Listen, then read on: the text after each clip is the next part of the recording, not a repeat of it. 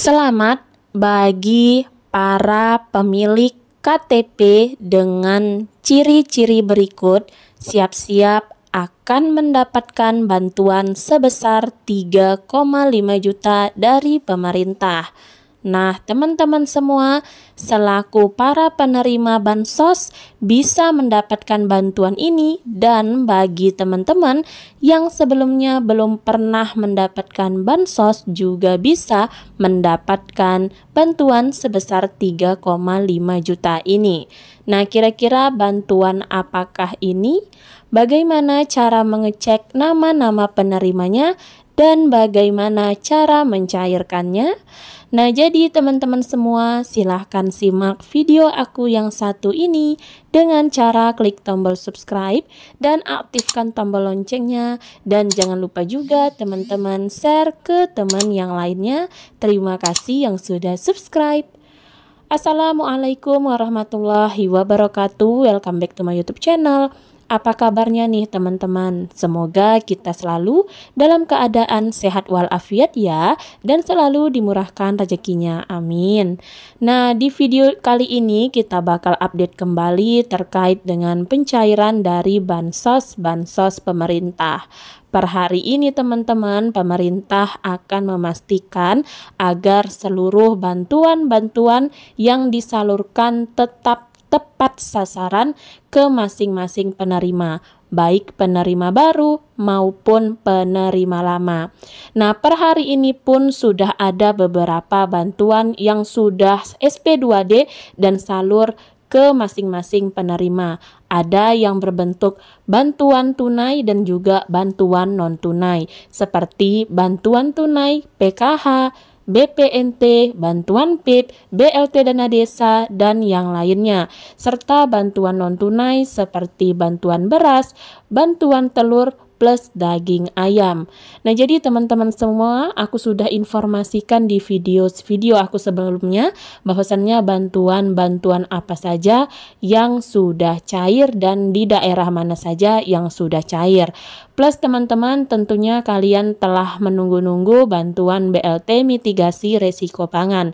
Bahwasannya per hari ini memang masih belum ada titik terang ya guys karena memang pemerintah sudah menginformasikan bantuan ini akan dicairkan menjelang Ramadan tiba teman-teman. Nah, kita berharap agar tidak diundur kembali ya karena bantuan ini sudah diumumkan cair pada bulan Februari, fakta di lapangan ternyata diundur kembali hingga Maret 2024. Selanjutnya teman-teman, sambil menunggu-nunggu pencairan dari bansos yang teman-teman terima seperti bansos PKH Bansos BPNT, Bansos PIP, Bansos BLT dana desa, Bansos beras, dan juga telur plus daging ayam ada bansos di mana teman-teman semua bisa melakukan pendaftaran secara mandiri melalui online lewat handphone masing-masing.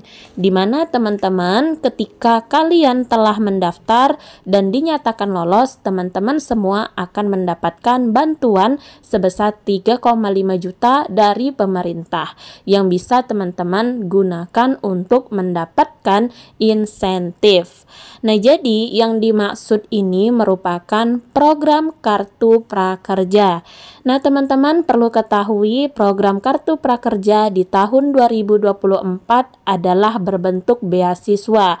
Jadi, teman-teman semua akan diberikan bantuan sebesar 3,5 juta dalam bentuk saldo pelatihan, di mana saldo pelatihan bisa teman-teman gunakan untuk membeli pelatihan dan teman-teman semua bisa memulai pelatihan sesuai dengan yang teman-teman minati, lalu kalian akan mendapatkan sertifikat serta teman-teman akan mendapatkan insentif sebesar Rp600.000.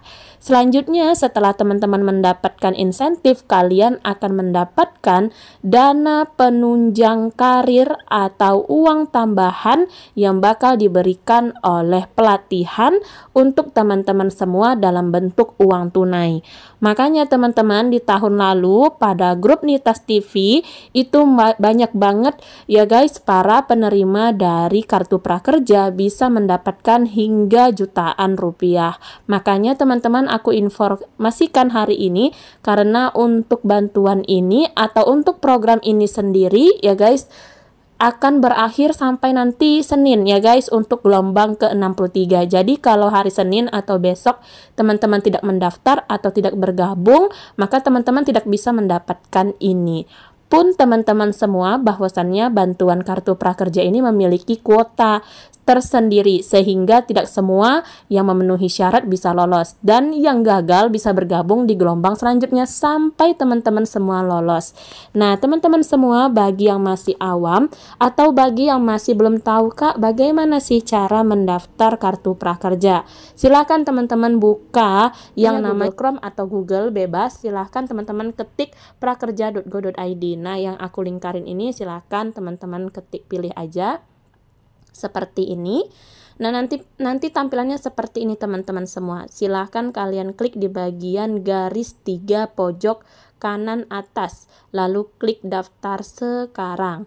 Nah, di tampilan seperti ini, teman-teman bisa lihat, kalian cukup memasukkan email, password, dan juga ulangi password. Selanjutnya, nanti teman-teman semua silahkan login menggunakan email dan juga passwordnya. Setelah itu, teman-teman semua silahkan masukkan nick, dan juga foto KTP, dan juga data-data yang lainnya. Nah, di sini aku mau singkat aja menjelaskannya, karena teman-teman semua bisa masuk atau bergabung di grup Nitas TV, linknya ada di kolom komentar. Kalau ada yang perlu ditanyakan silahkan tanyakan supaya teman-teman semua tidak terjadi kendala hingga kalian lolos nanti. Seperti itu. Jadi yang memiliki ciri-ciri KTP seperti berikut ya guys. Nah yang ini syarat mendaftarnya maka berhak nantinya akan mendapatkan 3,5 juta 3,5 juta tetapi dalam bentuk saldo pelatihan dan yang bisa dicairkan nantinya 600 ribu serta uang tambahan lainnya. Bahkan teman-teman semua bisa mendapatkan lebih dari itu ya guys. Nah di sini Teman-teman bisa cek nanti sesuai dengan KTP untuk usianya ini 18 sampai 64 tahun. Nah, kalau di atas itu sudah tidak bisa lagi. Selanjutnya, nik yang ada pada KTP teman-teman tidak terdaftar di dalam Kemdikbud atau pendidikan formal.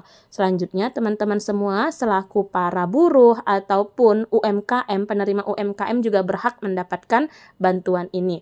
Selanjutnya, teman-teman semua bukan pejabat negara, DPRD, ASN ya guys yang perlu dilingkari ASN dan juga direksi, komisaris, dewan pengawas pada BUMN atau BUMD juga tidak boleh mendaftar. Selanjutnya, kalau sudah pernah ada yang mendaftar dalam satu kakak, ada dua nik yang udah pernah lolos, maka teman-teman semua tidak bisa mendaftar. Jadi, patokannya adalah di syarat mendaftar ini teman-teman cek aja pada KTP teruntuk bagi yang usianya ya teman-teman pastikan usianya tidak melebihi 64 tahun dan tidak kurang dari 18 tahun seperti itu.